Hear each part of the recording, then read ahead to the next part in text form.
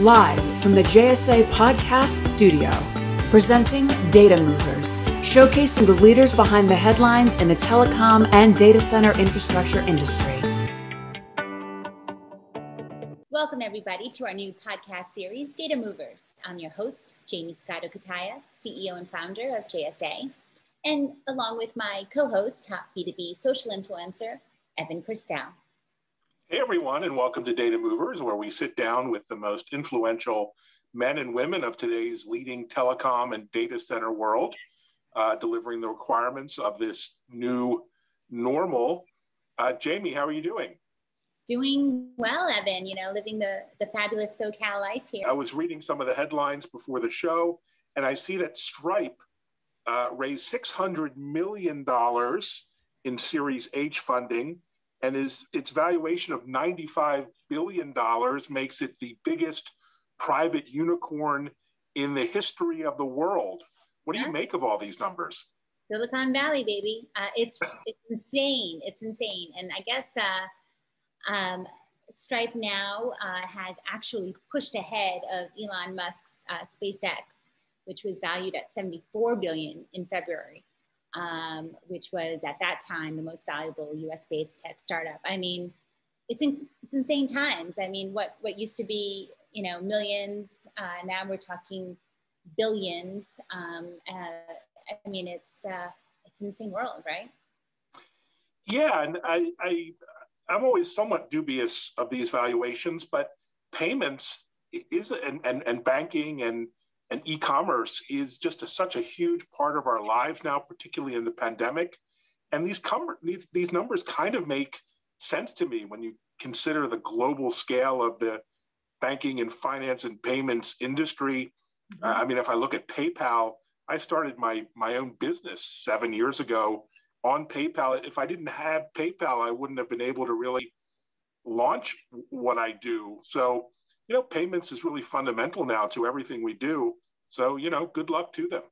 Yeah, and it's uh, helping every mom and pop shop who had to go uh, digital during the pandemic. Uh, so many uh, great uh, cases of, of, those pivots uh, for their business models where they had to learn how to build a website and, and take transactions online. But also with, you know, Stripe, we use it here at JSA. We, you know, the clients use it no matter how national or global they may be. Um, so yeah, it's, it's a good business model definitely, you know, one of those businesses I wish I had thought of. well, speaking of ideas and innovation in action, we have a great guest today, I think. Yes, yes. Uh, I want to say he is one of the true um, uh, needle movers in our industry. Um, I'm really excited um, of our guest today. Um, please welcome leading industry journalist, João Marques Lima. João, welcome to Data Movers. Hi thank you for having me. So, João, welcome. Uh, I've really been following you for for years on social media. It's really nice to finally make this uh, uh, human to human connection here on the podcast. Uh, I guess my first question is: You dub yourself a mediapreneur. Uh, explain to us what that is. And I see journalism is also uh, on, on your profile are you a last breed of, of, of sort of real journalists out there in this new media landscape? Well, I would like to think so. um, I mean, on the first question, so the mediapreneur, I, I think that's just more. I mean, as a journalist, we say we hate jargon and things like this, but I kind of liked the word when I saw it for the first time. So it's not my words. Um, I don't know where it came from, but I just liked it. It's the mixture between media and entrepreneurship. Um, and taking into account my past, I have created a few publications um, so I kind of dip my toes into the entrepreneurship within the, the media space. So therefore, um, I'm either entrepreneur. Um, as a journalist, I mean, I hope so. Um, I've been doing this for about, what now, six, seven years um, in the data center space for the past five years, more or less. Um, so it's going well. I mean, there's a lot of stories there um, in the real world, as we call it sometimes when it comes to journalism. So the politics and um, even jihadists and everything. And then you have the tech side of things, so with IoT and data centers, um, which has been my big focus in my journalistic career, to be fair. And you've had the opportunity over the years to really interview some of the top movers and shakers in our industry. are there any interviews that stick out top of mind as most memorable? I mean, I've got loads. the best ones is when you actually learn something from these people. Mm. Um, I mean, there's the CEO of Schneider Electric, Jean-Pascal Tricoire, um, who is really good when it comes to climate and sustainability. Um, and he also teaches how to take care of a company with more, I think, than 200,000 employees. Yeah. Um, so hearing someone talking about that is something quite uh, striving. Um, there was, of course, Steve Smith, who at the time was the CEO of Equinix. Um, there was Bill Stein, the CEO of Digital Realty, John Corcoran, CEO of Global Switch, who we I learned a lot about financials. Um, so that was a very good. It was more like a lesson slash interview than so much of an interview. Um, so that was really good. Um, I mean, I had my Justin Trudeau moment. Uh, so when the PM in Canada spoke about quantum computing, I had that with the Prime Minister of Luxembourg um, who I had been briefed that he didn't really know anything about data centers. And then in the end, I had to kind of transform the interview as I was speaking to him because he knew more than I thought he did. um, I mean, there's John Kurian as well. So the brother of Thomas Kurian, the CEO of Google. Um, so that's a, that was a very good life lesson um, on how to come from a humble background and then grow to the top. So that was very good. Um, Manuel Medina, CEO of Cyxtera, which has now been IPO'd uh, through one of the SPACs um, and talking about opportunities and equality uh, within uh, underrepresented layers of the society, especially in this case, the Latin American um, layer of the US. Um, Bill Barney, who's probably the best person to go to for stuff related to Asia. Um, and then, I mean, there's a lot more people that I could name, but one that I really like, always makes me laugh, is someone called Nicola Hayes. So she's a consultant in the UK, but every time we do an interview, I mean, it's it's just a laugh. I mean, I remember the last time we did an interview was in Morocco, um, in Marrakesh, and we just had like a laugh attack, and we couldn't do anything for ages. Um, but it was really fun. But you learn a lot with her. I mean, her research is really good, um, and you really get some really good insights. And at the same time, you have so much fun just doing it. Um, there's probably like a longer answer than you wanted, but there's a lot, a lot of names. I mean, there's so many more names I could name. Oh, and I love them all. And, and Nicola's, she's a, a, dear friend, and uh, I'm glad you ended with her. uh, I remember Marrakesh very well. It was, yeah, we just laughed. We couldn't finish the interview. it was really, it was hilarious. Wow, that, that's quite a uh, who's who of folks that you've interviewed. Uh, so, who's on your bucket list, whether our industry or not? Who are you uh, you know, wanting to interview next, and tell us about your approach or your pitch to uh, to interview them. Hmm. I think, I mean, there's a lot of people. I could go with the standard and say like Elon Musk, Mark Zuckerberg, Bill Gates. Uh, I mean, those would be very nice to sit down with. But I think now everything that's going on and all the change that we've had, maybe Kamala Harris. Mm. Um, I mean, they are coming up to the 100 days in office, so a lot has been done. A lot is going to be done. Um, I mean, coming can't really say coming out of COVID, but getting through COVID now.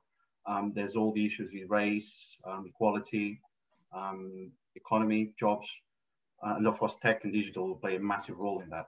Um, and we know what's been left behind was probably not um, the best legacy in terms of digital and sustainability as well.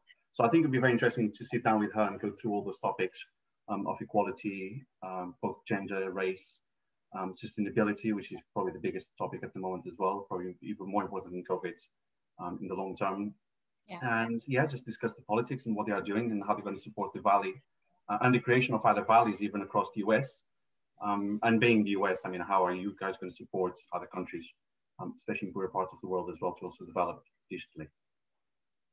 I think that's uh, that's. I'm so glad you mentioned that because there's um, a fabric you know, I think we can get lost in data center and telecom uh, mm. to not see how, how much we penetrate and sustain and, and support other industries and um, how politics plays a role um, mm. and, the tech space, of course, and, and, um, and really global economy. Um, so yeah. with that said, are there any industry trends that you're following mm. particularly close right now, considering we're in this pivotal time? Yeah, absolutely. But just adding to your to your last point, there's actually one thing that I've always really tried to bring into my reporting. Um, and again, I'm going to use the expression real world, which is bring the politics and I mean the real world case scenarios and use cases um, of how our industry impacts the rest and how the rest impacts us as well. Because I mean, a lot of it comes from outside.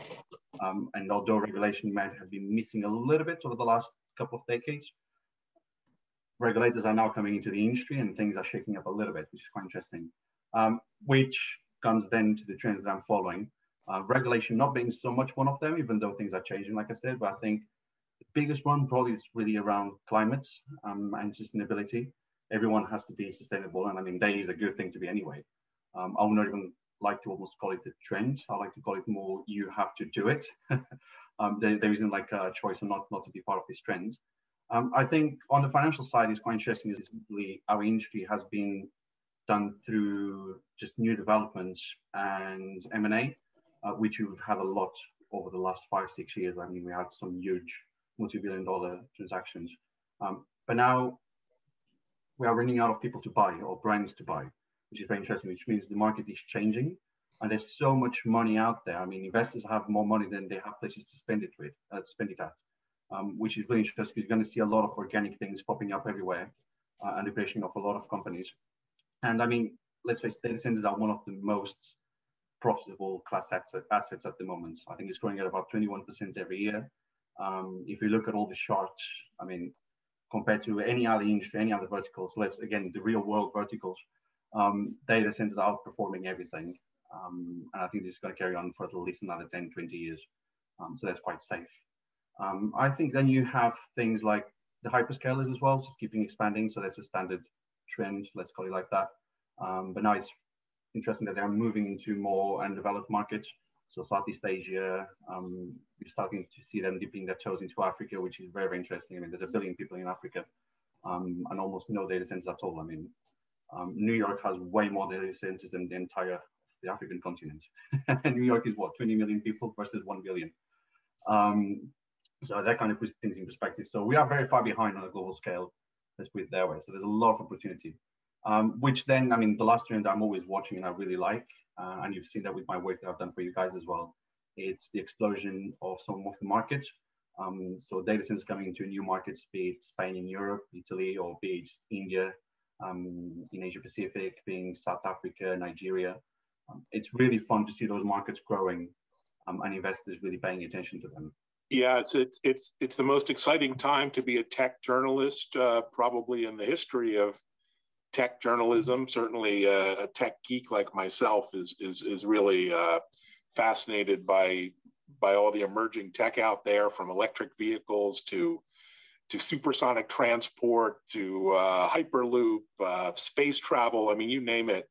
There's something really cool and innovative happening. So, what are you most excited about in terms of emerging technologies? Mm, I mean, there's quite a lot. On a consumer level, I think screenless displays um, is quite an interesting one. Um, but that's just on my consumer capitalist side of things. Um, so I think that would be quite a cool, cool thing to have, not to have like this big LCD um, in your living room, just a black box when it's not on. Uh, and then you can just project things or anything hologram wise, virtual reality, augmented reality, mixed reality. Um, so the screenless display thing, I think that's going to be quite interesting. Um, for the industry, I think there's two probably big things, which is graphene. Um, and I actually had the opportunity to interview Konstantin Novoselov, um, if I'm pronouncing it right. Um, he's a Russian-British uh, physicist, and he actually won the Nobel Prize in 2010 um, with his um, partner, Andrei. Geim, I can't pronounce these things properly. but I mean, it, it's really interesting because it's graphene basically allows you to in terms of communications will be faster, will allow the communications data, data, data transfers to be faster than they are now. Um, it reduces the, the carbon footprint as well because they consume less and you use less um, material than you will do with, um, with normal materials, I guess. Uh, for example, one of the things that he told me is that if you wanted to replace all the phone screens on the planet with graphene, you only need 60 kilos of it. I mean, that's 60 kilos versus I don't know, I don't even know how many tons we use of plastic and, and glass to build our phone screens. Um, in the data center space, it's going to be very interesting to see how people use it for um, heat management and thermal management. And there's a study in Sweden that has actually found that you can reduce heat management, heat, heat consumption, I think within the, the processor or the server by 25%, which is a lot because as we know, I mean, that's one of the biggest bills um, in the data center space. Um, and then as well, there's this thing, new thing that they're looking at, which is lithium graphene, um, which if they get it right, will basically replace most of the battery and generators in the data center space, which would then free up a lot of floor space, um, which means more money and more space to put servers to make more money. Um, and I, actually, speaking of space, I think the other one that's going to be really disruptive in the next 50 plus years, if they really get it right and it gets commercialized properly, it's DNA storage. Um, so I found about DNA storage at a Microsoft conference a few years ago. Um, I think it was 2017 or something. And this scientist, she came to, to the stage and she started talking about it. And as she was talking about it, most people just start leaving. And I was like, this is actually quite interesting. I mean, I didn't understand half of it because you became very technical because you can think of those like Beverly scientists, like when they go down, they go down and you're like, all right, I don't understand. Now you need to translate this to something else. Um, but it's basically, you can put a lot of data in a small smear um, and that smear will be enough to replace, uh, well, actually that smear, if you put enough together about the size of two dices, so about the size of your thumb, that could replace the data center with 200,000 square feet. Um, so, I mean, that will be very, very disruptive to the industry. Um, there's a few challenges with DNA storage, like uh, retrieving the data sometimes, but they are getting through those stages and there's different levels of development that they've gone through, which includes um, storing and restoring, I think the British Encyclopedia or something like that. Um, so there's all those nice things that data scientists do um, and then getting through it. So I think over the next 10 years, you'll see something being commercialized. And then of course, they'll have to have market education. Um, the pricing needs to come down. I mean, it will be very disruptive if it really picks up. Um, it doesn't mean that maybe everything will go into it, but if a lot of things go into it, they'll be very interesting. Because, um, I mean, I think there's a, a, stat that says that by 2030, we are only going to be able to store 3% or 5% of the data that we produced on this planet. Um, and by 2040, it's only 0.5%, which means we, we can't store anything. Um, and I mean, people are looking into storage in space and everything, but it's just too expensive. I mean, not, not everyone has a $100 million to put um, a storage facility in space. They, can, they might be hit by a meteor. Then you lose your 100 million and all the people's data. So I think we have to look at options within our Earth confines. Very long answer. And then, of course, things like nanotechnology. I like that as well. You know, uh, you just blew my mind by going, you know, out, outside to the uh, hypers, you know, space uh, data consolidation and management and storage to um, uh, going going nano too. Um, really, uh, really crazy. It sounds like a, a new world. Um, like uh, you know, Tom Cruise is is listening in, taking notes for his next sci-fi, you know, action movie. Um, but is coming. But you know, the truth is, COVID has really accelerated at an incredible rate digital transformation.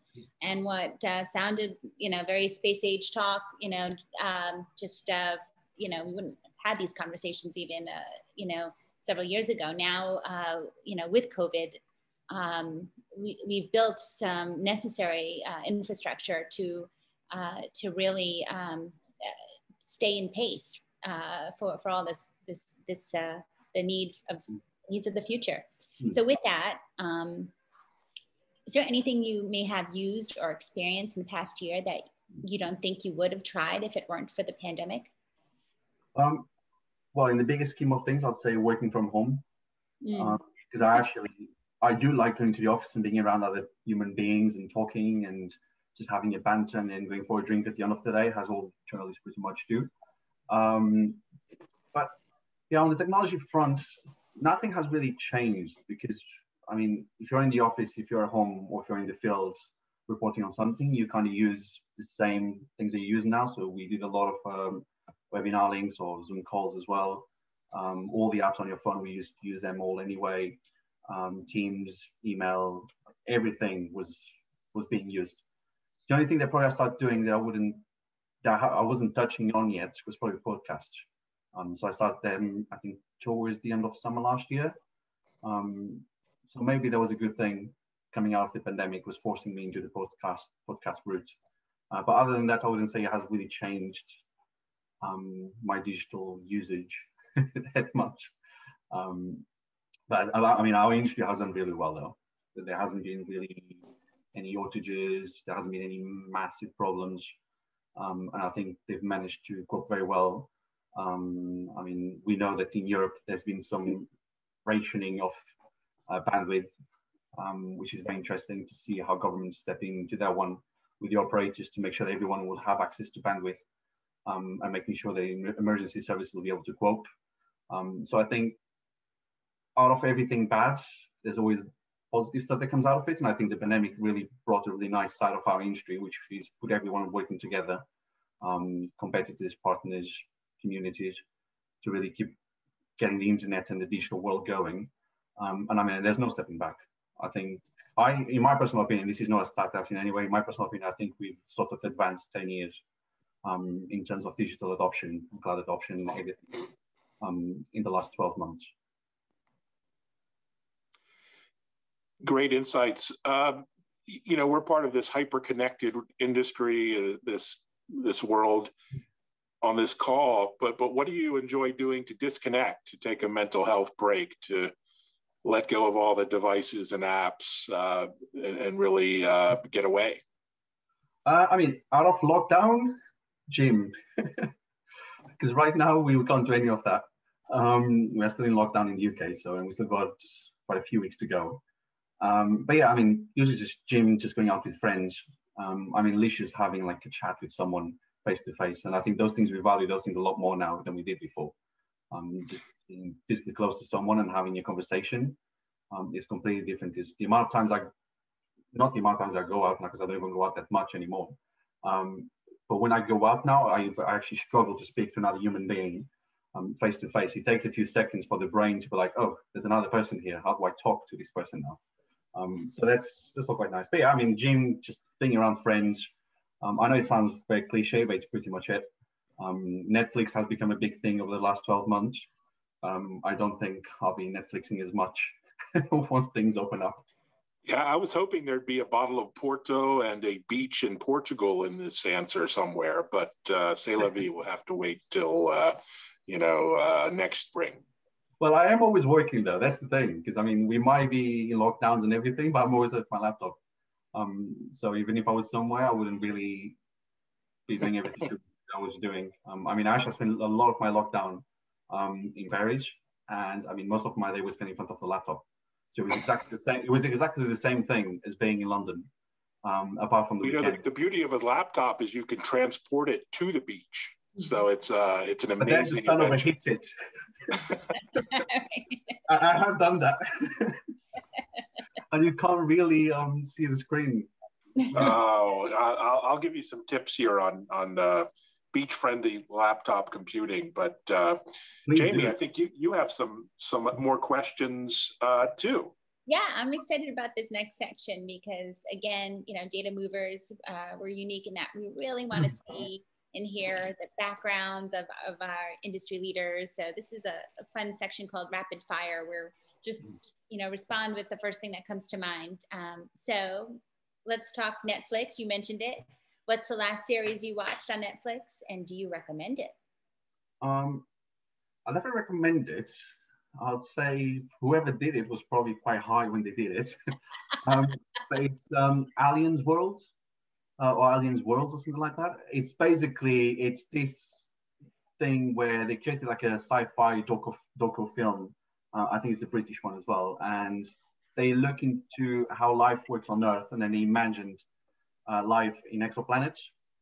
Um, I mean, this has nothing to do with data centers, so it's nothing to do with no, it's, cool. it's um, it's really interesting because I mean, some of the creatures that they came up with, like the arms and the eyes and the way they, they feed themselves and the predators, and I mean, even to reproduction, you're like, God, I mean, it's you're like the human brain has no limits. It's it's I don't know. It just it's not like your normal watching. It's not like uh, Behind Her Eyes or or Bridget or something like that. But it is interesting. It gets you out there and gets your thinking going, uh, and be like, yeah, we probably are well um, on planet Earth.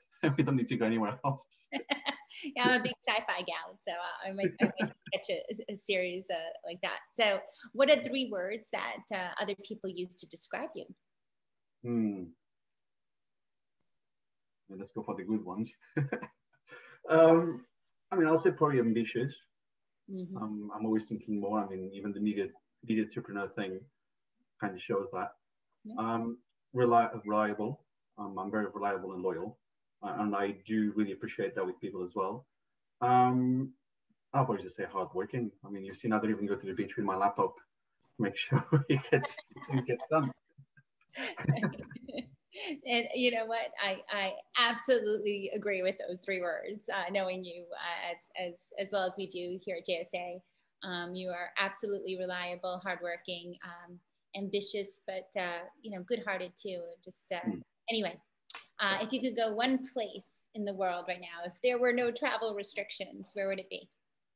Oh i mean because right now it's hard not to think of the travel restrictions. So with that, I would probably say Israel, just for the fact they are fully open and the vaccination program is going well, is going very well there. So I mean, you got everything open, nightclubs, beaches, um, everything is open. The gyms are open, restrictions are being eased every day.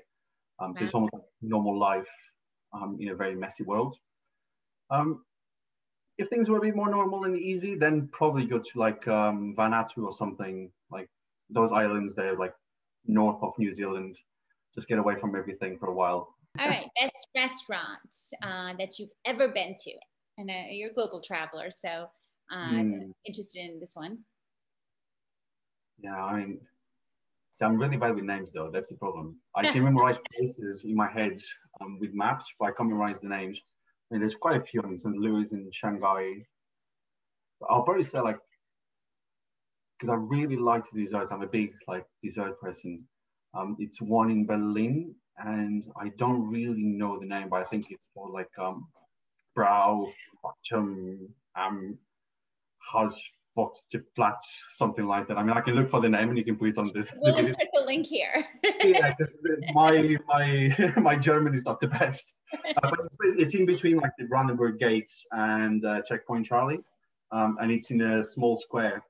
And then basically you go in, it's a mixture between um, a charcuterie and a restaurant. So you get the meat from where they also sell it to outside.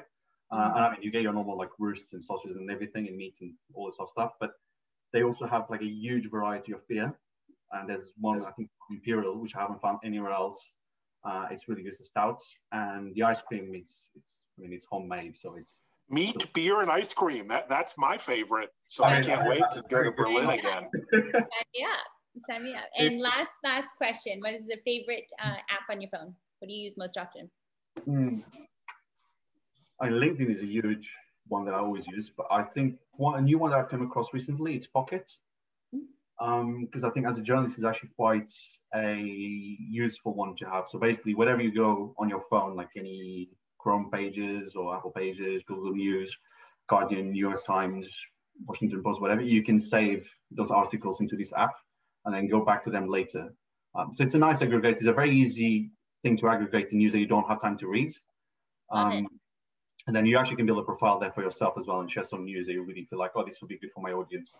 And you can share stuff with them. So you have the private side. yeah, downloading it now. That, that's a great tip. yeah. All three of us are like, yes, yes, yes.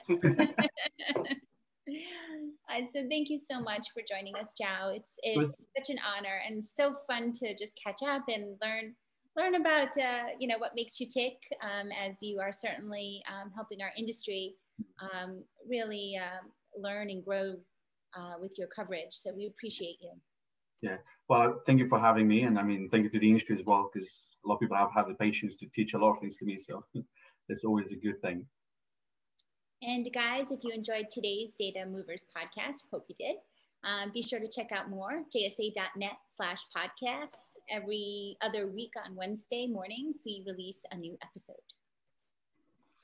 Yeah, and be sure to follow us on Twitter, uh, my favorite media platform, Jay Scotto and Evan Kirstel, where we can continue the conversation. Absolutely. And as always, guys, happy networking.